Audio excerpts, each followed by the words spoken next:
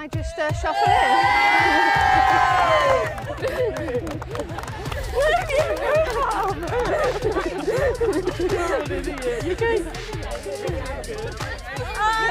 Beth Mead, on behalf of the BBC World Service, you are the BBC Women's Football of the Year 2022. Congratulations!